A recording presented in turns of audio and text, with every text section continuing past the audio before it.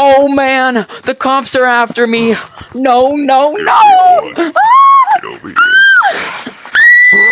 Man, I can't believe the cops caught me. I'm in freaking jail now.